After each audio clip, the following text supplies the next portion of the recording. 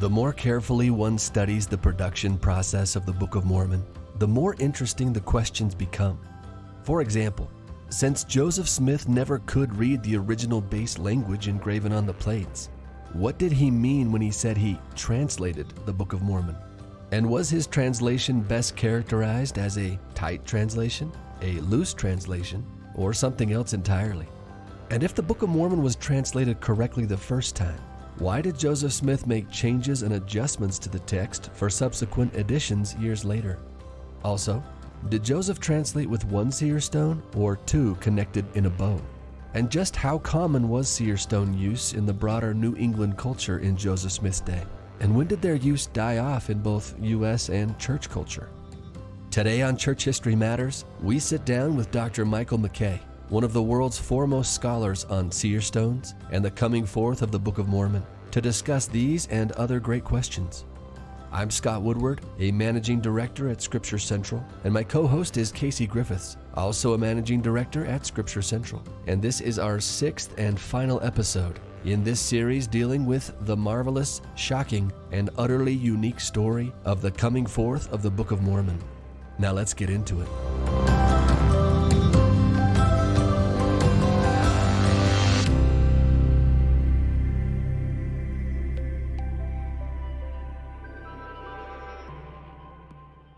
Hello, Casey. Hello, Scott. How are you? Super good, man. I'm excited about today's episode, particularly. We've been talking a lot about Book of Mormon translation. You and I have been through, what, five hours so far of discussion about Book of Mormon translation, the coming forth, the witnesses. And uh, today we get to have a special guest with us. We're excited. Do you want to tell us who's with us? Yes, we have with us Dr. Michael Hubbard MacKay, who is a colleague of mine here at Brigham Young University, used to be just down the hall from me. Mm. Uh, Dr. MacKay is an associate professor of religion in the Department of Church History and Doctrine. He's a former historian and writer for the Joseph Smith Papers Project. Uh, he teaches world religions, history of Joseph Smith, Doctrine and Covenants, Foundations of the Restoration. He's also the author of several books focusing on antebellum American religion, Joseph Smith, and the production of Latter day Saint scripture. He's currently working within Ritual Studies in the midst of publishing an edited volume re examining the work of Victor Turner and co authoring a book on the development of Latter day Saint ritual and scripture. Mm. I want to also take a minute and point out some of the best books uh, Mike has been involved with that our listeners should get their hands on a copy of. Each of these are essential reading when it comes to Book of Mormon translation. Joseph Smith Seer Stones, uh, Mike wrote that along with Nick Frederick. There's a new one, a short one out called Let's Talk About the Translation of the Book of Mormon by Mike and Garrett Dirkmaat. Uh, that's a quick read, but would give you the essentials. And then there's the volume that really kind of introduced a lot of people to these ideas. It's called From Darkness Unto Light Joseph Smith's Translation and Publication of the Book of Mormon. That is also co authored with Garrett Dirkmaat, who's another great scholar on Book of Mormon translation. Yeah. Mike, welcome to the show. We're so excited to have you. Thanks. You're a great friend, great scholar. Good to be here. Thanks for having me. Yeah. Excited about this new podcast. Well, that means a lot coming from you. If if Mike MacKay endorses it, then I feel good. Well, I guess you didn't go so far as to say endorse. uh, you just said excited, so I'll I'll be modest. That's an endorsement. Oh, good. That's not a condemnation, so I guess we'll take it. we'll take whatever we can get. We're just glad you're here. Yeah. Could you begin maybe by telling us a little bit about how you got interested in studying so deeply about you know seer stones and all things related to the coming forth of the Book of Mormon, Joseph Smith, that whole world. Like, how'd that get started for you, Mike?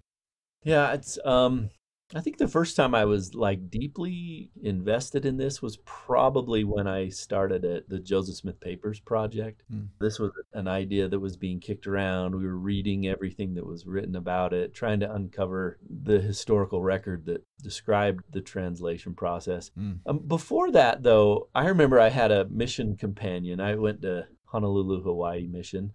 I remember I had a I had a mission companion who asked me what I thought about Joseph Smith seer stones, and I was like, I don't know what you're talking about. so that was probably the first time I heard about it. Fast forward to the guy who actually writes the book about it. That's a fun beginning. Yeah. But at the Joseph Smith Papers Project, doing Documents Volume 1 required analysis and research on the topic. And even in, you know, 2009, there's still there's tons and tons of research that's been done by that time. There's so many people that have written on it. Hmm. Mark Ashurst McGee was my next door neighbor. He probably still is the OG, probably the person that knows more about the translation than anyone. Hmm. And so he was he was helping me. That's when I got really interested. Mark has a way of developing historical interest in everybody's mind. He's like one of the greatest gifts to Mormon history that we have. He's he's amazing. Wow. So I think under Mark's tutelage, I started thinking. The other thing, like me and Garrett Dirkmaat, who was working on it with me, you know, the academic understanding of it was sort of foreign to both of us. Uh-huh. And Don Bradley came on board too for I think it was for like a year or something. And Don Bradley had he was like Mark Ashurst McGee, and he was fully invested years before that, you know. Mhm. But yeah, the Joseph Smith papers is when it happened. Hmm. And then we got involved in the essays and things like that, and it all took off from there. Wow. Very cool. Very cool. Well, we're excited to ask you some questions today. Yeah. I want to start with a question about seer stones. Uh, just how common were seer stones used by other people in Joseph Smith's New England culture? And there's like this girl down the street, Sally Chase, that seems to have one, and we hear about others that, that have them. Uh, that's kind of the first part of the question. And then second part is when did the use of seer stones kind of die off in U.S. culture? And, and what about in church culture? When was that no longer a thing? Yeah, that's a good question. Like, I, I think the answer automatically you want to say, well, Joseph Smith's time, this was a predominant culture that he just participated in. Like, we have the tendency to want to make it, like, normalize it really quickly. Yeah. Um, I think in general, so there's been several articles that have been written about this in the broader American antebellum scene. And it, it demonstrates that this is an esoteric culture, Meaning what? meaning that it isn't widespread. Mm. So, for example, like, would you have a leader that's been elected or a civic leader, someone who is publicly recognized? Would they be using a seer stone? And, and the answer is very much likely no. Right. They wouldn't be able to have like a public presence if they were using it. So it's a kind of Christian folklore. mm-hmm. So an average Christian might buy into the use of a seer stone for something. Mm-hmm. So things like, especially in an agrarian culture, water witching, which has made its way all the way to modern agricultural culture. Yeah, people still do that today, right? Yeah.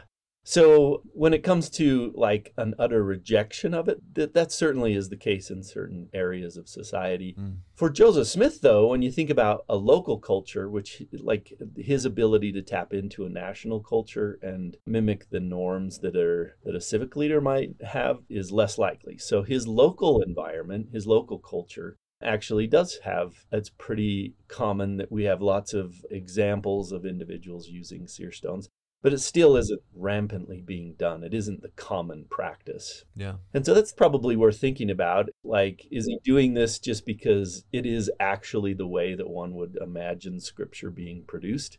Well, the answer to that is uh, no. Like, in a Protestant culture, for scripture to be produced would be heretical, right? So that's this position that we're in. yeah. Now, that being said, the culture continues because it emerges in Joseph Smith's lifetime, but it still isn't even common in the church. You don't have lots of church members using seer stones.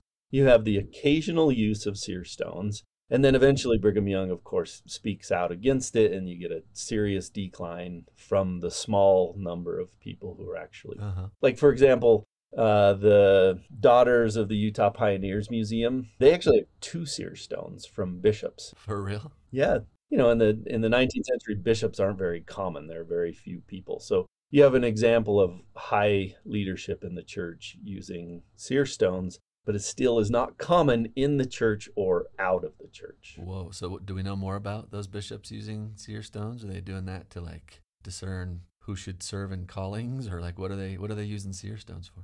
Yeah, yeah, they're using it for revelation. Oh man. Like Heber C. Kimball is the one we have like some of the most examples of after Joseph Smith. You know, he's water witching, he's divining revelation, things like that. Yeah. And so, especially with like the onset, the, the rise of secularism versus religion, where you have like a category in society that becomes distinctly different than religion. It's not like it doesn't produce morals and ethics, but the secularism that emerges in the 19th century categorizes and makes things normal or not normal. And so religious practices in a secular environment are seen as less normal. And so the normalization and the development of secularism in the 19th century eventually pushes off some of these religious practices. Interesting. But religious practices is what we want. I'm not looking for a secular world. Mm. If I'm a religious person, which I am, I am looking for that which can't be explained. Mm. And so I'm I'm very moved by this. I'm moved by the fact that Joseph Smith is turning to the miraculous instead of like actually translating Egyptian. Well, that, that's not very likely. if someone told me Joseph actually translated, I would say I doubt it. But the fact of the matter is, you get this remarkable book that is consistently demanding that there isn't an explanation. Yeah, it clearly he used seer stones, and then the product of that was the Book of Mormon somehow, right? And And you're saying we should bring back seer stones. Is that correct? Or I, uh, I think that would be cool. Yeah, but, uh, I'm not sure that's going to happen. But if there was another remarkable and miraculous way that God was delivering a message to us, I would find that appealing. Yes. yeah, And if it came through seer stones or it came through like like a handkerchief that healed the sick or like a basket of bread that was bottomless that fed the poor.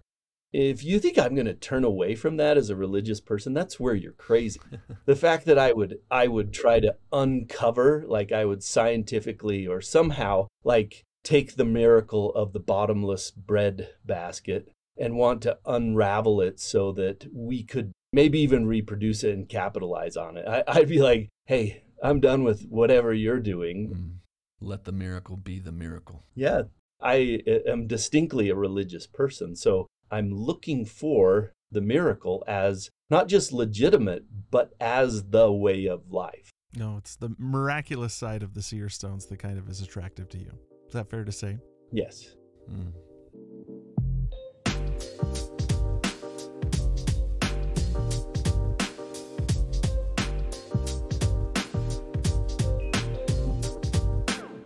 So now, can I ask a follow-up question? Yeah. You mentioned that uh, you're not so sure that Joseph could translate Egyptian, right? Whether we're talking about Book of Mormon, Reformed Egyptian, or the papyrus later on. Yes. And yet he, he insists on the word translate, but we use that word, he uses that word differently than others in his day, a, a secular use of or definition of the word translate. So are there any problems with us continuing to use the word translation, or is there just certain ways that we ought to think about translation as it pertains to Joseph Smith? Yeah, this seems like a good place to start. Whoever asked that question was, I think, on to something there. Yeah. Like when you start thinking about this, like, so Joseph Smith differentiates between the revelation that he gets. He doesn't just call it all revelation. He specifically chooses things that are translation, like the Book of Abraham or the Book of Mormon. Mhm. Like even revelation in the Doctrine and Covenants. So Doctrine and Covenants is revelation. And so specifically, Joseph Smith is choosing the language and has a maintenance of the kind of language that he's using there. And yet we're talking about revelation anyways. Mhm. And so I think there's a marker in the sand here. The the word translation has to have some sort of meaning that differentiate and the differentiation between normal revelation and revelation that's considered translation are two different things. Mm. So the term translation is in fact a demand that Joseph Smith is making about the historicity of these texts. Mm. He's demanding that the historicity of the Book of Mormon and the Book of Abraham are being identified through the word and use of the concept of translation, even though he's not translating.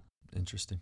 So you- you'd say that translation is a subcategory of the broader umbrella term of revelation, that Joseph Smith is on purpose calling it something distinct from the rest of the kind of revelations he receives in order to point to the historicity of these texts. Yeah. So you, you'd categorize it as a type of revelation that transmits ancient text to us in our language, mediated by revelation, something like that. Yeah, using the word translation demands that there is a historicity of a previous text. Mm. The term translation, it's it's hard to disconnect it from a claim to historicity. Yeah. And Joseph Smith is consistently doing it and differentiating it from revelation in the Doctrine and Covenants. It's just a simple point, and I think that's why he does it. Mm, and it yeah. doesn't mean that he's actually doing the translation. Interesting.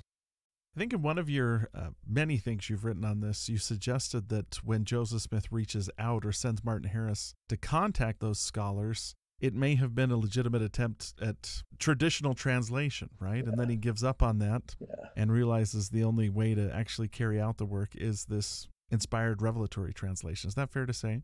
Yeah.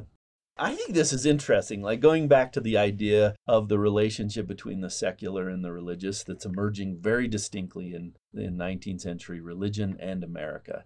In this case, like the distinction here is that Joseph Smith actually deals with the secular answer. So, like, well, can this be translated? And he was convinced enough by the visit from Harris to Mitchill and others that, like, this is something that could be translated by scholars. Mm. And I think that gave Joseph Smith confidence. It certainly gave Martin Harris confidence. Yeah. Martin Harris had every reason to bail at, at any given point, you know? Yeah. And so the idea of how convincing are secular answers well, to Joseph Smith and Martin Harris, they're convincing. Yeah. Now, the question of whether they did a secular translation, they admittedly say we did not. Yeah. Saying I translated by the gift and power of God is a very clear marker that they did not translate. Hmm. Interesting. Let's move on to another question because this is one I'm anxious for you to answer. Um, and I'll just read it the way one of our listeners submitted it. They wrote In the last decade, there has been much to do made about how Joseph translating the Book of Mormon by not only using the Nephite interpreters that came with the plates, but also one of his seer stones. But from the historical record, Joseph and Oliver, the ones who knew best, always seem to almost exclusively refer to the Nephite interpreters as the instrument of translation, at least in their first hand accounts. Testimonies of Joseph translating with a single stone don't seem to show up until the 1870s to 1880s from Emma Smith, David Whitmer, and Martin Harris. How big of a deal is it that these single stone sources are quite late? And how should we think about that? And why do you think Joseph and Oliver never mentioned the single stone if it was used significantly in the translation process? Isn't this an interesting question? Like, uh, this is the question of the internal battle. So now you have like a whole bunch of people who are sold on the kind of miraculous translation. So Latter day Saints now saying, well, wait a minute, it couldn't have happened that way. It has to happen this way. This question is a question about the analysis of documents as the evidence to demonstrate whether he was using one item or the other item to receive the translation on. I think individuals like us to engage in this debate and come to some conclusion and demonstrate that the other one is wrong. I'm not really in the fight like that. Mm-hmm. I think it's remarkable that individuals are perpetuating an answer that it has to be the Nephite interpreters as if I would be offended about that. like it sounds like a pretty cool argument. Like if they were the Nephite interpreters, that sounds pretty cool. And so my position on this is I obviously think that's totally wrong. I've written about this for 10 years now and you know, I disagree with those writing about that. Yeah. I think the Book of Mormon is the best evidence against this. Oh, interesting. So tell us why.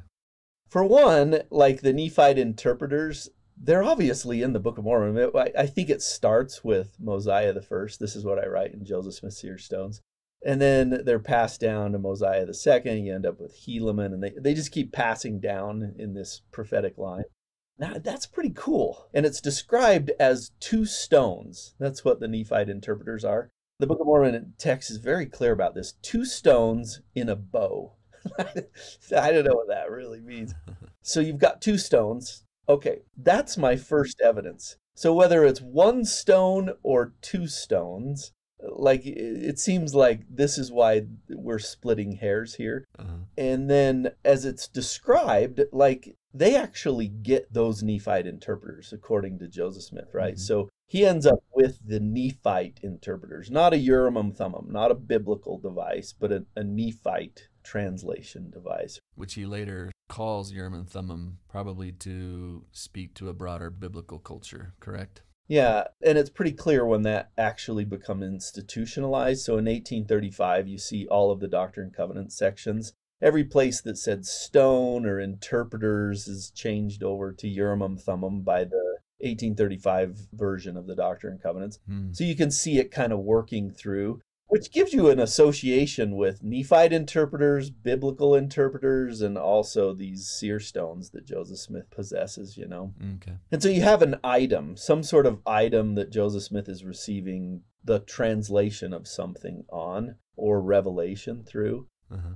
So this is the biggest evidence here for me is differentiating between them is an interesting historical uh, sort of activity but it's I don't know that it's in the end that meaningful to say it had to be this one or it had to be that one. Mm. And this is where I think individuals start splitting the evidence and they're like, well, I think it's this one or I think it's that one. And I've done some of that. And part of the reason I've done that is like the statement that that caller had where he says oh the, none of these happened until the 1870s this is, this is just flat out not true at all. Mm. martin harris has very early sources. Mm. you know some of his most explicit ones come even before nauvoo. He has them after. Martin harris has a consistency of these remarks. And then you also have traditions through like for example the tradition of oliver cowdery the very first one we where we get him and his the head in the hat with the seer stone is 1830. Like it's one of the earliest sources where you have the Shaker visit.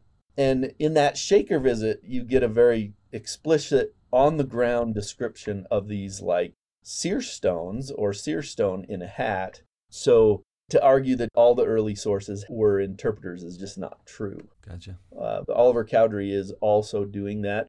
Oliver Cowdery also perpetuates the idea of the single seer stone. So traditionally now, Oliver Cowdery is the one that wants to go get the seer stone or identifies the seer stone with the Whitmers. And so you have this long tradition where the Brighamites then connect themselves and want to get the seer stone also. Mm. And so to say that Oliver Cowdery or Joseph Smith are outside of this is crazy. There's no explicit propositional statement that they want out of this. That's pretty close to true. Mm. Yet you have this long tradition, which I would refuse to ignore. And I'm still confused why they want it not to be a seer stone, but they want it to be two seer stones that were delivered by Moroni.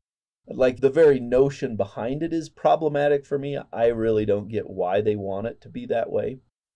Was there any sort of stigma early on you think that Joseph and Oliver were trying to avoid? Because I mean, like most of their statements do mention the Urim and Thummim or the Nephite interpreters. Mm. Was there some sort of an effort to distance themselves from like common scrying or glass looking or anything like that? That one seer stone might have a stigma, whereas the two that came with the plates may not? I mean, is there any reality to that?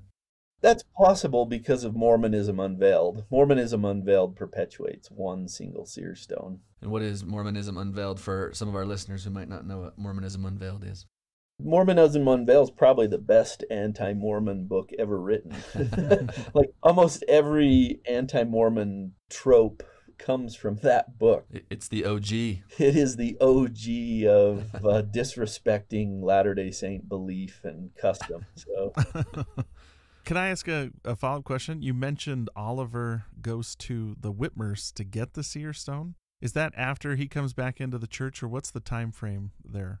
So the tradition goes that so David Whitmer tells this story too. So Oliver Cowdery was supposed to have gotten the seer stone. Mm. David Whitmer he describes that he gives Oliver Cowdery one of his seer stones, and it's that tradition where Oliver Cowdery actually is given one of them so when Oliver Cowdery dies, he is in possession of a seer stone. Mm-hmm. That's the brown one that is in the JSP volumes.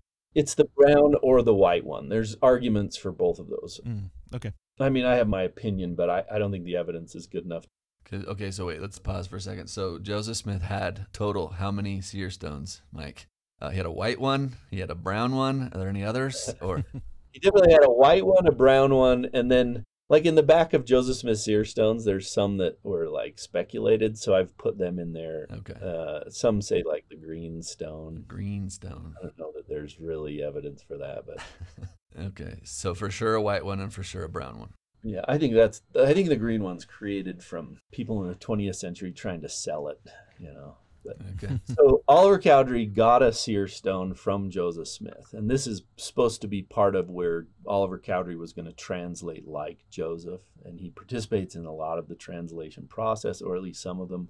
And so he gets the seer stone and he possesses it. So is this like circa D&C six, seven, and eight and nine, like that era?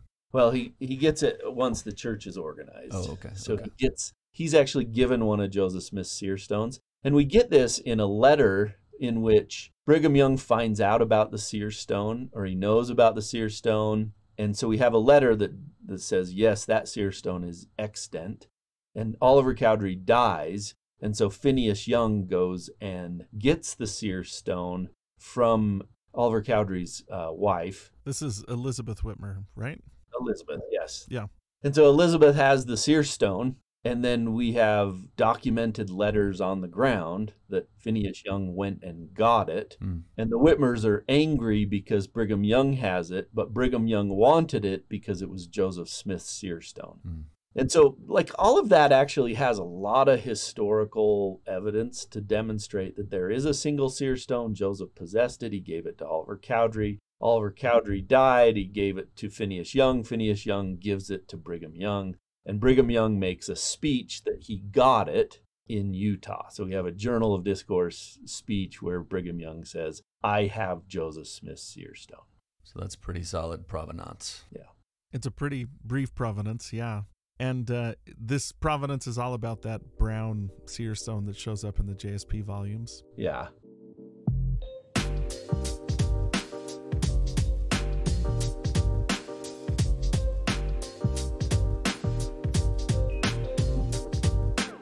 Mike, as someone that worked on the JSP volumes, um, was there controversy as to putting a photograph of that brown seer stone into those books? Yeah. Because the JSP is seen as uh, authoritative by by most church members. Yeah, we like we wanted for D1, which had the translation in it for Documents Volume 1. We put up a request and did a, a, lot of work on provenance to say, you know, this is part of the Joseph Smith volume, like it's the production of text. Hmm. And as part of that volume, we asked for it and they didn't feel like it was the right timing, but they at that point, you know, there was enough evidence that we had produced anyways that they had it that, you know, it was taken seriously. And then once they decided to do the printer's manuscript, they asked again and the decision was to actually take a picture of it. And so, still, I never saw it. Like, I think it's a sacred item. I think it's a kind of relic that should be treated with sacredness. Like for me, you know the the handkerchief, Joseph's handkerchief in the museum. Yeah, the big red one. Yeah. Mm-hmm. For me, it's a hard pass. I don't think like someone who values the sacrality of something like that. Um, I'd prefer not to put it out on display. Now, that's with some thought. I think originally I thought, oh, we need to show the seer stone. But, you know, like 10, 12 years on, my religious side wants to think, well, let's treat this more like a sacred relic instead of like a, a museum piece. Like, I want it to be religious. This isn't just some historical adventure or adventure in provenance. Mm-hmm. And just for any listeners who are wondering what the world the handkerchief is all about, that was not involved in the translation process. there were stones, there was a hat, yes, but the handkerchief, that's a Nauvoo story. Yeah, that's there's someone uh, he's got sick twins across the river comes to Joseph. Joseph Smith can't go and, and give a blessing to these sick infant twins, so he gives his handkerchief to Wilford Woodruff. That's it. Wilford Woodruff takes it, and actually, Wilford Woodruff, I think, treats it as a relic, it's fair to say. Yeah. There's several times in his journal when he mentions giving a blessing and then putting the handkerchief on them because he believed it had sacred powers. And those kids were healed when he wiped their faces with the handkerchief, right? Mm-hmm. And I think he said he kept it as something of, of a league between him and Joseph, right? It was a tie, a, a physical symbol of their bond, which is cool. So, and so, like, at some level, this handkerchief that's being passed off and healing people through the power of God is literally one of those religious moments that should be wondered about, should be thought about, should be valued. mm-hmm. And by turning it just into a handkerchief, I think that's part of the secularization process. Maybe, maybe that's a little bit too philosophical, but I think that makes sense to people. Like, so in the last podcast, I heard you guys talking about you explain that it's done in 60 days, or I think it isn't it 56, his latest one? About 60, I think he says. Yeah, about 60. About 60 days. And that's pretty cool. That's a very interesting fact. And it's actually a piece of secular evidence that would demonstrate that he couldn't have done that. Right. I think that's the point. Yeah. So it's, it's an evidentiary piece of work that demonstrates a miracle. Doesn't that seem strange to you that I'm producing evidence that it was a miracle? Well, doesn't it push against? I mean, we have to use the categories that are at our disposal, right? We have to say, like, well, what do you mean it's a miracle? And say, well, we can't explain it. What do you mean we can't explain it? Well, it was done in 60 days. And he's only 23, and it's got all these complex Hebraisms and stuff. Like, how do you explain that except to say it's a miracle? I mean, I think it's nice to have the secular ideas to push against in order to define what is miraculous and what is not, right? If it if it cannot be explained by secular means, then I think we can say that's kind of uh, smacking up against the miraculous, don't you think? I like this discussion. I think it's the right discussion to have. But so if secularism isn't like in opposition to religion, okay. it's actually in juxtaposition to religion. Now, that being said, like they also produce their own kinds of norms and morals and ethics. And those normative realities that secularism produces creates tools to analyze things in the secular world. Yeah. I would demand that if we're really looking at religion, I would think that we would need outside of comparisons, like what you said. I thought that was a very good answer. Thank you. Outside of comparisons to say you're different, I would suppose the tools that we possess should be different. Mm-hmm. Because it's undemonstrable, like it defies demonstration, particularly in the case of the Book of Mormon. Like, and we went the rounds two weeks ago in our in our episode two weeks ago, just saying, listen, it's inexplicable, undemonstrable. Like how else this could have been done, but through miraculous means. But there I am again using secularism and pushing against that to say and to suggest the miraculous. Come on, be honest with me. Do you believe the Book of Mormon is true because of chiasmus? Hmm. I think it's compelling. I think my mind is compelled by the complexity of that and the beauty of that. Um, I think it's something that needs to be dealt with. Like if someone wants to not believe in the Book of Mormon, like you probably can't slough that off. Um, if someone wants to believe in the Book of Mormon, I'd say that's probably not sufficient to go on, but it's pretty awesome. It's like a it's a factor in the complex universe of testimony. I'd say stuff like chiasmus is the icing on the cake, right? Mm. But it's not the primary uh, substance of where our belief comes from. It comes from, like you said, a spiritual witness because those secular arguments towards the Book of Mormon are helpful. Yeah. They are. They genuinely helped me when I was exploring the Book of Mormon and gaining my testimony. But they're frosting. You know, they're they're not going to be sustaining enough to keep a person there. It's something that you'd look at and file under your, your that's interesting file, but probably wouldn't affect or change your life. It's something deeper and like the words you've been using, inexplicable, if we're trying to explain why we believe. Chiasmus is almost dumbfounding. It's like, how on earth did that get in the Book of Mormon, right? Joseph's 23 in 1829 in America, where we don't even know chiasmus, right? That's not something that people are aware of here yet. It's dumbfounding yet. I think it does stand in the logic and reason part of my brain as like a lion in the path of trying to explain away the Book of Mormon through some secular logic. Yeah.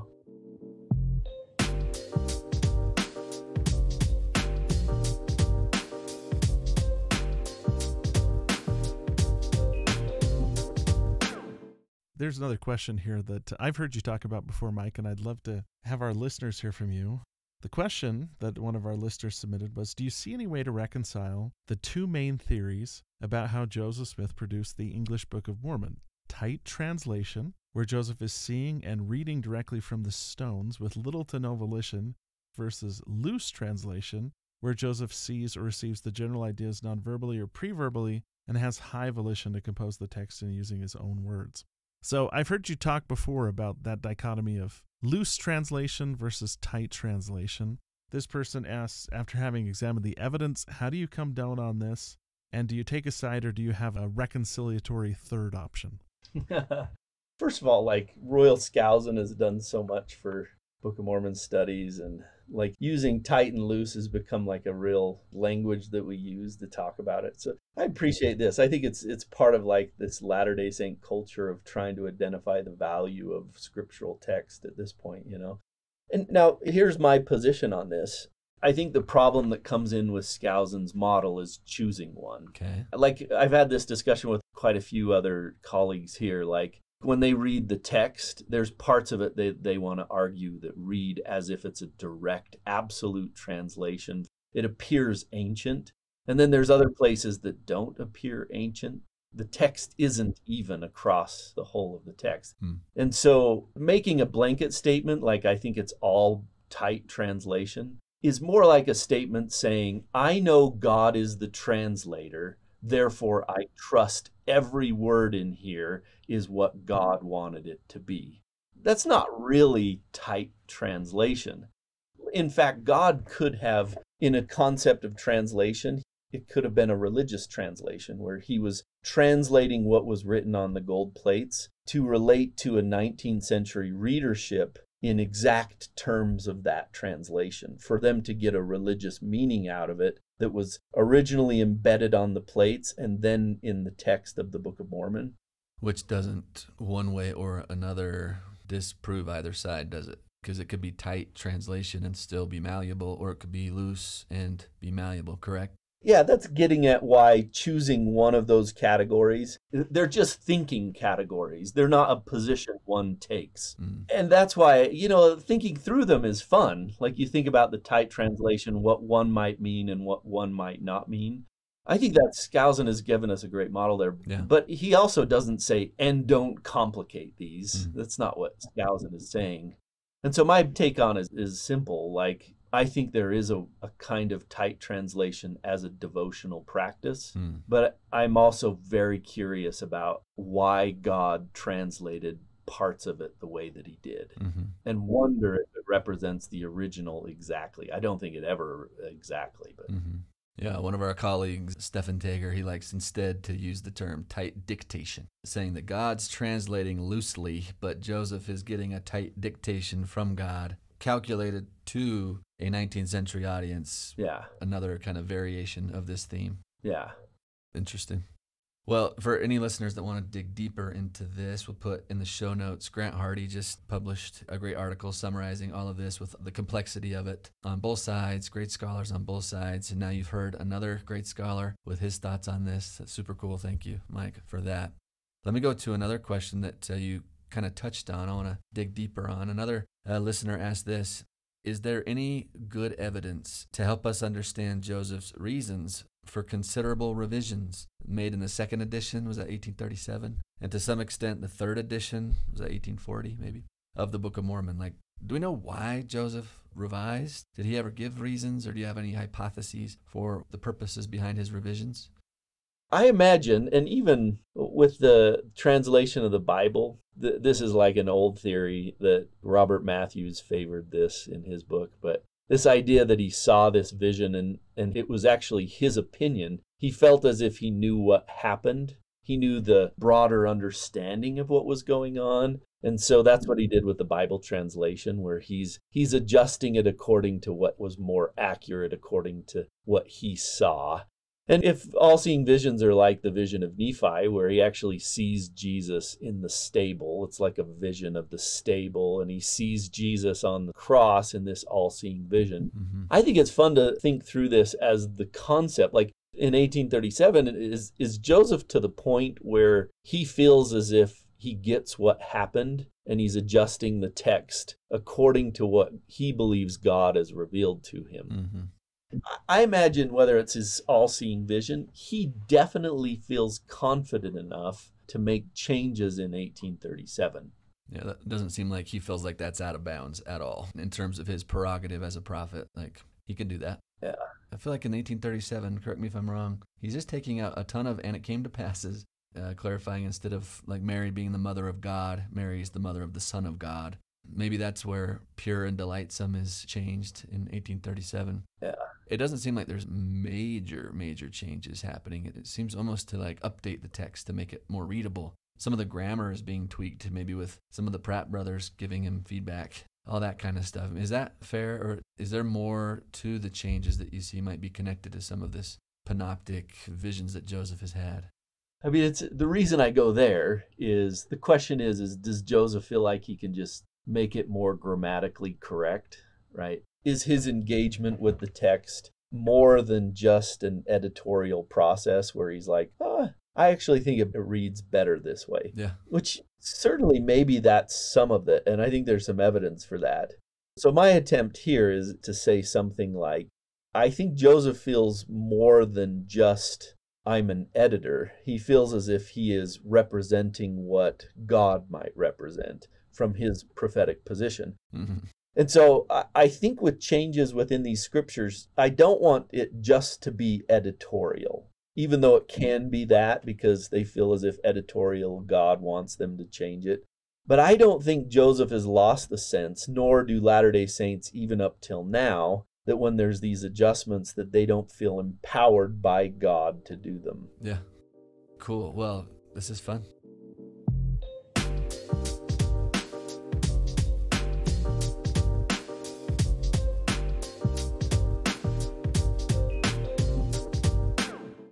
I'm going to go to another question here.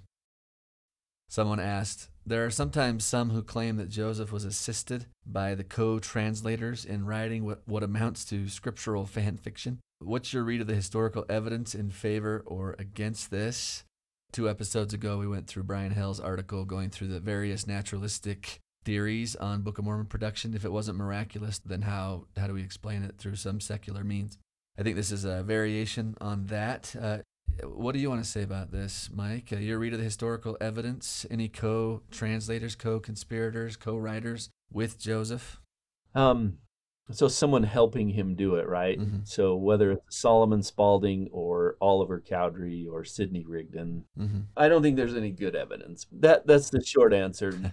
the issue with that is that Oliver Cowdery and Sidney Rigdon in particular, who are the closest to him, like if those two helped him write it or, or were co-authors or collaborators or, or the author of the book of mormon and they had more time to do it okay. they both were disassociated from joseph smith in ways that they actively tried to disregard some of the things that he did yeah. even that he was a prophet. Like both of them at points were questioning that. Yeah that he was maybe a fallen prophet right? Yeah a fallen prophet. So in those moments you would imagine that if they wrote the Book of Mormon, they might have said that. Yeah, those would have been opportune moments for them to kick or to push back against Joseph. Yeah. Yeah. Okay. Well, here's another one. Why do you think Joseph himself, the one who knew the most about the translation process, why didn't he offer many details about it?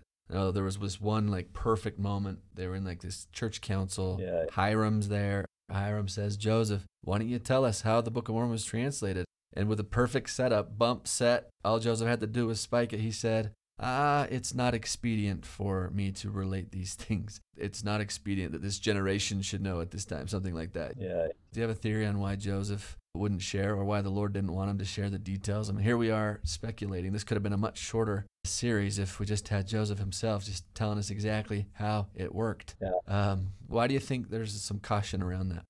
I think with a like some document analysis of that 1832 Hiram conference that you're talking about, yeah. you can tell that they've shifted the topic. They weren't talking about that.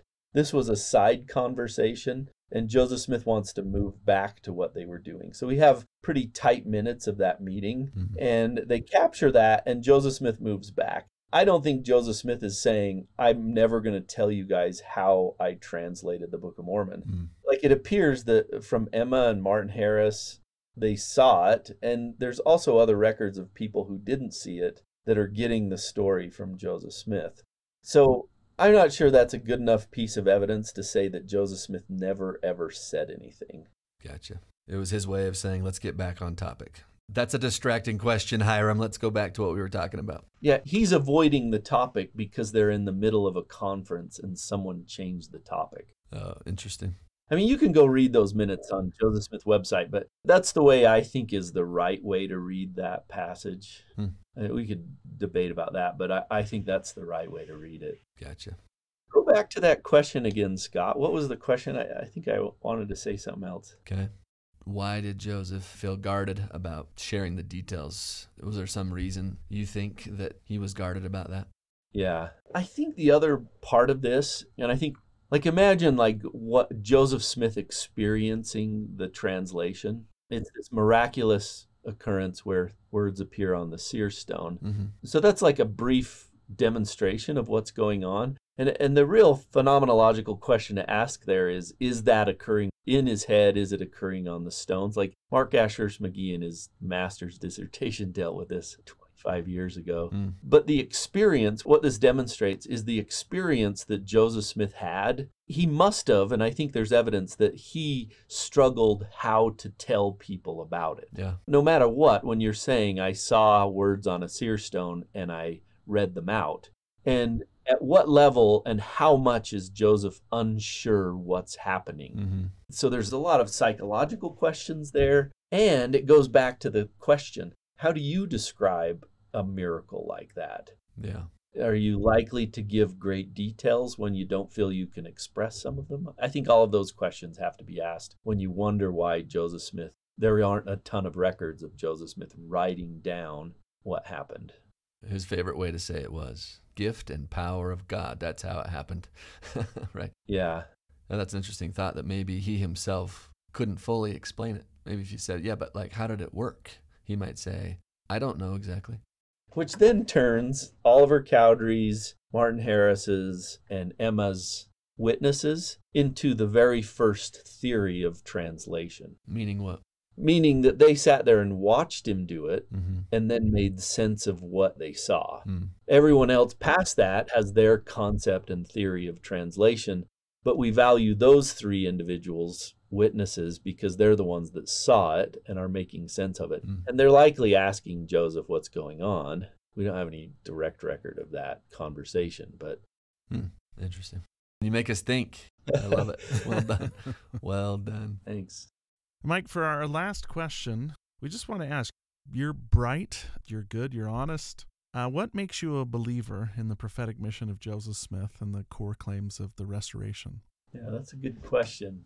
As a teacher at BYU, I get a chance to sort of think through this a lot. Students are always wondering, what is it that makes you believe? And uh, I I think the character of Joseph Smith himself is is one of the key factors for me. Mm. Uh, I think his ability to go through so much and and have a maintenance of the things that he saw, like at some given point, you know, giving up on them would be a, an option. It'd be a lot easier. And I think his character alone puts me in a, a place where I can have a genuine interest a space where I can consider the things that he's claiming. And so it's important for me to get into the belief in the restoration through the person who's restoring these things. Mm. And so I'm earnestly investigating the restoration because I have a kind of trust in him automatically. Now, that being said, the things that are being delivered, like the world that he creates, it's not just a church, it's not just an institution, it's a world that he creates and that, that survives even today a space where like my experience of the restoration often comes when I like get my 16 year old and we visit an old lady and we bring her food and uh, we shovel other people's walks in the in the winter. We build a family. We come together with a community of people who are usually pretty different than us. And it's created this unbelievable world for me that fosters a need to help the poor a moral system that enables me to be honest, even when it's easy not to be. Uh, it creates relationships that have been unbelievably life changing. And it's endowed me with a belief that I can come together with everybody, like I can be a part of God's plan that He's created. Mm. And so maybe Joseph Smith just restored a bunch of ideas and some scripture. Those are remarkable in themselves. But for me, these ideas come together in a very real world, a world that has shaped my life and made me into a good person. Well, as good as a person that God could possibly make out of me. And that shape that my life has come under and become is because of the restoration. And so the experience of God has come through the restoration for me. And when I live that restoration authentically, I am my very best self, and I find God the most often in that. Mm. And so this isn't like a deductive model. And so Joseph Smith is a prophet. Uh, this model is me saying, I live in the world that Joseph Smith restored, and that world has enabled me to be good and to find God. That's why I believe.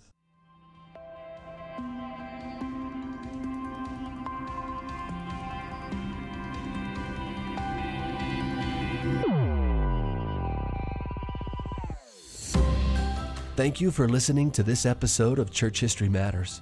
For more of Dr. Michael MacKay's scholarship on the coming forth of the Book of Mormon, we highly recommend beginning with his book co authored with Gerrit Dirkmaat entitled From Darkness Unto Light Joseph Smith's translation and publication of the Book of Mormon. Today's episode was produced and edited by Scott Woodward, with show notes and transcript by Gabe Davis. Church History Matters is a podcast of Scripture Central, a nonprofit which exists to help build enduring faith in Jesus Christ by making Latter day Saints scripture and church history accessible, comprehensible, and defensible to people everywhere. For more resources to enhance your gospel study, go to scripturecentral.org, where everything is available for free because of the generous donations of people like you. Thank you so much for being a part of this with us.